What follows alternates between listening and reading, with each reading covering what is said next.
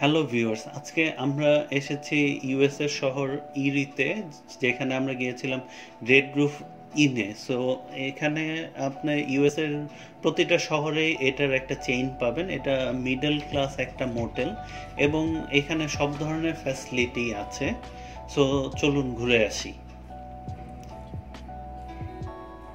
এইটা হচ্ছে রিসিপশন এই রিসিপশনে আপনি টোয়েন্টি ফোর সেভেন কফি পাবেন এবং সব ইনফরমেশনের জন্য এবং কোনো হেল্পের জন্য সবাই এখানে আসে।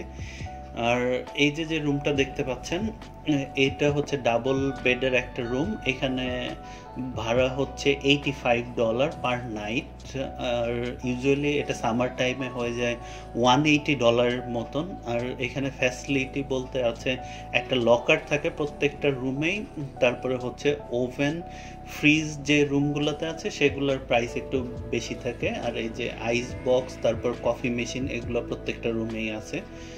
সো যেগুলাতে হচ্ছে যে ওভেন আর ফ্রিজ নাই, সেগুলার কস্টিং হইতেছে টোয়েন্টি ডলারের মতন ডিসকাউন্ট পাওয়া যায়। তারপর হচ্ছে, এটা হচ্ছে সিঙ্গেল বেডের একটা রুম আর ইনি হচ্ছে হোটেলের ম্যানেজার উনি আমাদেরকে ঘুরিয়ে প্রত্যেকটা রুম দেখাচ্ছিলেন। এখানে হিটার এবং হচ্ছে কুলার দুটোই আছে। তারপর এখানে এই বেডটার দাম ছিল হান্ড্রেড ডলারের মতন এবং এই হান্ড্রেড ডলারের ভিতরে সব ধরনের ফ্যাসিলিটি পাওয়া যাচ্ছিল। আর ইউজুয়ালি এটা সামার টাইমে এটা প্রাইসটা একটু টু হান্ড্রেডের বেশি থাকে।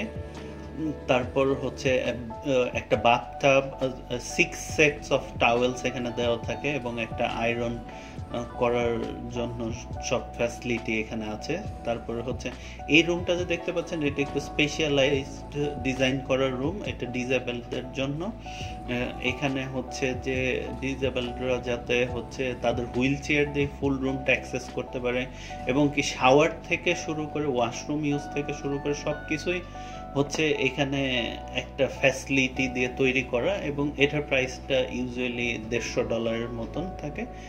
এবং নর্মাল টাইমে চাইতে একটু বেশি থাকে সামারে সো এই হচ্ছে ওভারঅল ওদের রুমের টাইপ এবং আপনারা যদি আসতে চান সো আর রেড রুফে থাকতে পারেন, এটা ইউএসের ভিতরে একটা রিজনেবল প্রাইসের মোটেল এবং প্রত্যেকটা রুমে পেট অ্যালাউড এবং পেটের আলাদা ঘর আছে, সেই জায়গায় পেটগুলো থাকে, এই যে যে চেয়ারটা দেখতে পাচ্ছেন। So thank you for being with us